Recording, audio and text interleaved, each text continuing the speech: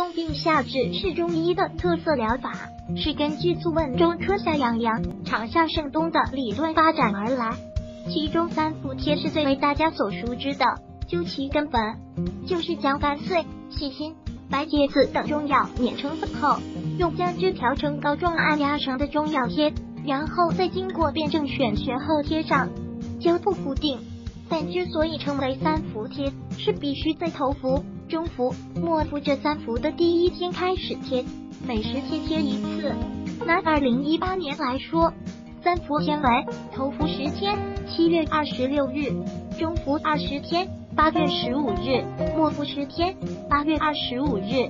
所以今年贴三伏贴的时间就是即二十七日、八月六日及十六日这四天。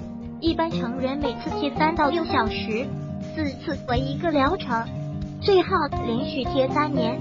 书中这样描述三伏贴：使机体的免疫功能不断增强，从而达到振奋阳气、促进血液循环、去除寒邪、提高内外功能的效果，能提高人体自身免疫力。为什么偏偏要选在三伏贴呢？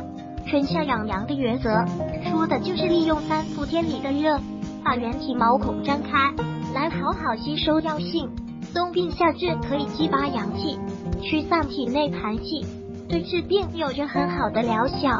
尤其是在寒冷冬天易复发和加重的病，比如支气管炎、支气管哮喘、过敏性鼻炎、慢性腹泻、类风湿性关节炎等病尤其适宜。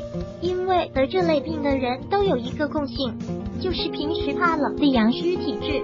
再来看三伏贴的成分，它主要源自清代张氏医通。以白芥子、盐胡索、干碎、细辛、生姜为基本方。干碎苦寒，能泻水逐肿、消肿散结；白芥子辛温，能利气豁痰、温中散寒、通络止痛；细辛辛温，能祛风散寒、通窍止痛、温肺化饮；盐胡索辛苦温，能活血散瘀、理气止痛。整张方都是取辛温药性来驱寒，以鼓舞阳气。但中医最讲究辨证施治，没有什么药是包治百病的。三伏贴也是如此。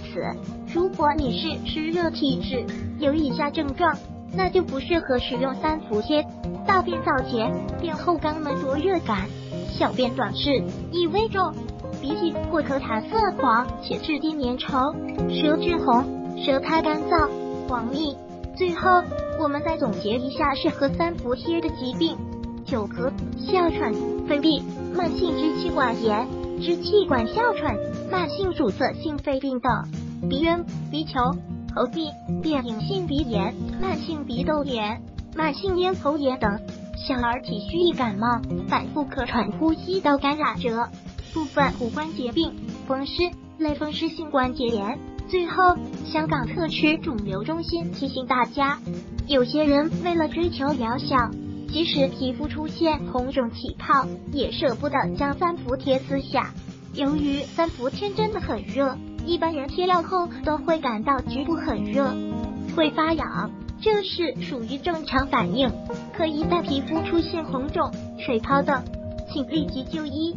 对于肿瘤患者是否可以使用三伏贴？肿瘤患者如何使用三伏贴？针对肿瘤患者的三伏贴的配料成分是否与非肿瘤患者的有所不同？无进展期肿瘤患者是否可以像非肿瘤患者一样自由选择机构贴三伏贴？如果喜欢本视频，请分享并订阅本频道，访问 T T News 点 X Y Z 获取更多相关资讯。